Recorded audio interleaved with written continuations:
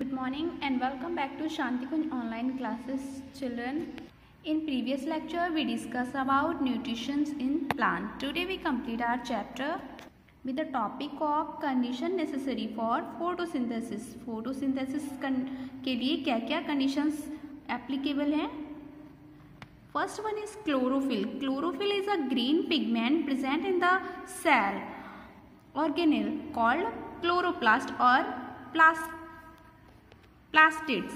The green color of the plant is due to the presence of chlorophyll in them. तो chlorophyll क्या है एक green pigment है जो कि leaves में होता है green color ही क्या बताता है क्लोरोफिल बताता है chlorophyll is present mostly in the green leaves of the plant chlorophyll traps the sunlight energy तो क्लोरोफिल क्या करता है? सनलाइट एनर्जी को ट्रैप कर लेता है, यानी अपने अंदर एब्जॉर्ब कर लेता है।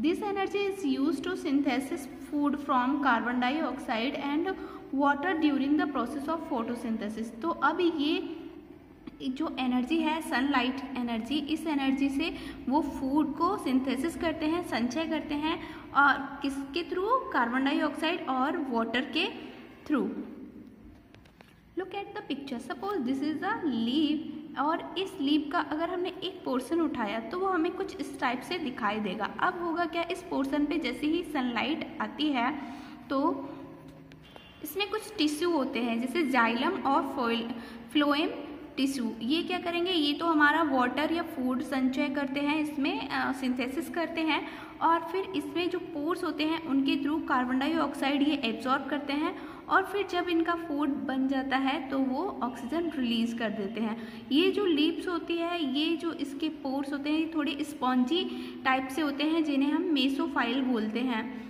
और इनके जस्ट ऊपर के जो पोर्स होते हैं, उनको हम पैलिसाइड बोलते हैं, और ये मीसोफाइल होते हैं। Okay, next is sunlight. When sunlight falls on a chlorophyll molecules its energy is absorbed. जैसे ही sunlight chlorophyll पे पहुँचती है, इसके molecules energy को absorb कर लेते हैं। This energy में carbon dioxide and water to combine and glucose is formed और फिर क्या करेंगे, ये कार्बन डाइऑक्साइड में वाटर को मिक्स करते हैं और ग्लूकोज का फॉर्मेशन करते हैं। Carbon dioxide the green plant take carbon dioxide gas from the air for carrying out photosynthesis अब जो ग्रीन प्लांट होते हैं, वो कार्बन डाइऑक्साइड गैस लेते हैं ईयर के थ्रू और फोटोसिंथेसिस प्रोसीजर करते हैं। टाइनी पोर्स कॉल्ड स्टोमेटा जो लीव्स में छोटे छोटे पोर्स होते हैं, उनको हम क्या बोलते हैं? स्टोमेटा बोलते हैं।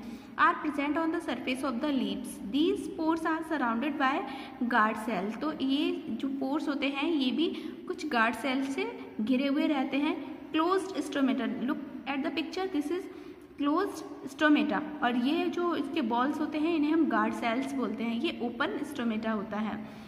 The carbon dioxide gas enter the leaves of the plant through the stomata तो जो गैस कार्बन डाइऑक्साइड फ्लो हो रही है, वो किसके थ्रू होती है? स्टोमेटा के थ्रू ही होती है। Water water is obtain by the plant from the soil by roots and it transported to the leaves तो वाटर रूट्स के थ्रू जाता है और पूरे प्लांट में ट्रांसपोर्ट कर दिया जाता है। The vessel that transport water and minerals to the leaves are called the xylem vessel तो जिस वेसल के थ्रू ये वाटर ट्रांसपोर्ट होता है, उन्हें हम जाइलम वेसल कहते हैं। जाइलम इज़ अ टिश्यू जैसे हमने पढ़ा था ना लास्ट टर्म पे भी टिश्यू क्या होते हैं? जो हमारे बहुत सारे सेल से मिलकर बने होते हैं। Importance of photosynthesis it is the process by which plant make food बहुत ही इंपॉर्टेंट है। प्लांट हमारा फ़ूड अपने आप से ही बनाते हैं और ये फोटोसिंथेसिस प्रोसीजर की ड्यूरेशन ही होता है। It is the primary source of food for all other living organism in the world तो सारे लिविंग ऑर्गेनिज्म के लिए फ़ूड प्राइमरी सोर्स होता है uh, क्या? Plant Oxygen released during photosynthesis is required by the both uh, plants and animal during respiration. अब हमारे plants क्या करते हैं ऑक्सीजन को रिलीज़ करते हैं और हम लोग ऑक्सीजन को गेन करते हैं। It help to maintain the balance between the carbon dioxide and oxygen in the atmosphere और साथ ही ये हमारे एटमॉस्फेयर में बैलेंस बना के रखता है बिकॉज़ हम लोग क्या करेंगे? कार्बन डाइऑक्साइड निकालते हैं और ऑक्सीजन को इनहेल करते हैं। और जो प्लांट होते हैं, वो क्या करते हैं? वो कार्बन डाइऑक्साइड ऑब्ज़र्व करते हैं और ऑक्सीजन को निकालते हैं। तो इस तरह से हमारे एटमॉस्फेयर में एक बैलेंस बना रहता है। ना तो ऑक्सीजन ज़्यादा होगी, ना कम होती है, ना ही कार्बन डाइऑक्साइड बहुत ज़्यादा हो जाती है। फैक्टर अफेक्टिंग फोटोसिंथेसिस फोटोसिंथेसिस के ड्यूरेशन में क्या क्या फैक्टर अफेक्ट करते हैं? Let's read it light intensity as the light intensity is increase the rate of photosynthesis increase जैसे जैसे लाइट की इंटेंसिटी बढ़ती जाती है मतलब सूर्य का प्रकाश बहुत ज़्यादा बढ़ता जाता है फोटोसिंथेसिस भी तेज प्रोसीजर में होता है। At higher light intensity the rate of photosynthesis become limiting but होता क्या है, अगर बहुत ज़्यादा लाइट इंटेंसिटी हो जाती है तो फोटोसिंथेसिस का जो प्रोसीजर होता है, वो बहुत कम हो जाता है। नेचर ऑफ़ लाइट लाइट का नेचर क्या होता है? The blue and red region of the visual light are most effective for photosynthesis अब होता क्या है कि हमारी जो सनलाइट आती है सन से जो लाइट निकल रही होती है, उसमें कितनी टाइप्स की रेज निकल रही होती हैं? उसमें सेवन टाइप के रेज होते हैं, जिसमें जो रेड और ब्लू रेज होती हैं, ये सबसे ज़्यादा इफ़ेक्टिव होती हैं फोटोसिंथेसिस के लिए। सबसे ज़्यादा एब्जॉर्प्शन रेड और सॉरी सबसे ज़्यादा ब्लू का होता है, उसके बाद में रेड का होता है।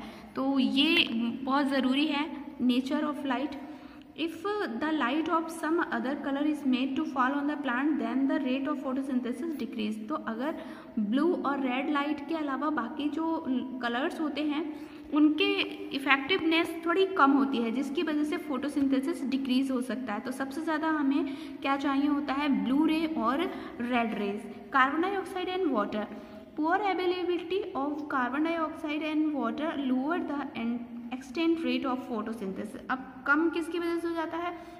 अगर हमारा कार्बन डाइऑक्साइड या वाटर कम मिल रहा है प्लांट को तो भी हमारा फोटोसिंथेसिस प्रोसीजर अच्छा नहीं होगा।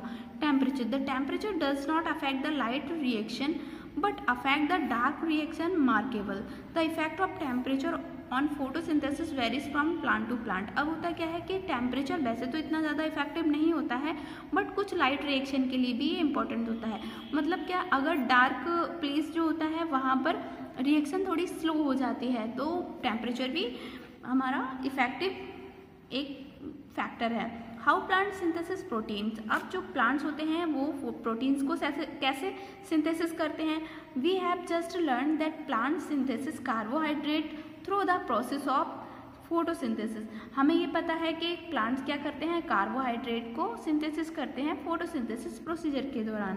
Plant can also synthesis other component of food such as protein and fat but plant भी कुछ ऐसे प्रोटीन्स और फैट को भी सिंथेसिस करता है। Protein are nitrogenous substances which contain nitrogen अब प्रोटीन क्या होता है? एक नाइट्रोजीनियस सब्सटेंस है। जिसमें नाइट्रोजन होती ही होती है। From where do the plant obtain nitrogen अब ये है कि प्लांट को नाइट्रोजन कहाँ से मिलती है? We know that nitrogen is present in the abundance लगभग एट सेवेंटी एट परसेंट हमारे एटमोसफेयर में नाइट्रोजन होती है। In gases form in the air but plant can not use it manner their manner they use carbon dioxide present in the air but plant ऐसे तो इसका use नहीं कर पाते हैं बट यस हम अगर उनमें कुछ फर्टिलाइज़र में अगर नाइट्रोजन मिला देते हैं तो प्लांट उसको एब्जॉर्ब कर सकते हैं। So children in previous lecture I given you in homework tick the correct option today's homework is आपको फ्लप्स करने हैं। फ़र्स्ट में आपको लिखना है प्लांट एंड एनिमल सेकेंड में लिखना है हेट्रोट्रॉप्स थर्ड में फ़ूड फोर्थ में लिखना है आपको डिकेइंग मैटर और एनिमल एक्सट्रेट। फिर लिखना है फिफ्थ में मिस्टोटू, मिस्टेटो मिस्टेटो और होस्ट। फिफ्थ लिखना है एल्गा एंड फंगस। सेवंथ में लिखना है आपको सिम्बॉइंट सिम्बॉइंट। और ट्रू एंड फॉल्स में आपको फ़र्स्ट करना है false, second true, third true, fourth false. Fifth true फिर है answer the following in short short में आंसर देना है. फ़र्स्ट क्वेश्चन है which plant can make their own food तो इसका आंसर लिखोगे autotrophs make their own food second है व्हाट इज़ क्लोरोफिल इसके लिए आप लिखोगे chlorophyll is the green pigment से लेके प्लास्टाइड्स तक. थर्ड है व्हाट आर कॉल्ड स्टोमेटा इसके लिए आप लिखोगे tiny pores called stomata of the leaf तक. क्वेश्चन नंबर फोर्थ है। Sorry which plant do not have chlorophyll तो चिल्ड्रन ये हम नेक्स्ट क्लास में करेंगे क्योंकि अभी हमने इसे पढ़ा नहीं। नेक्स्ट क्लास में हम चैप्टर कंप्लीट करेंगे और ये क्वेश्चन आंसर करेंगे। तब तक आपको इतना होमवर्क करना है। Till then bye bye take care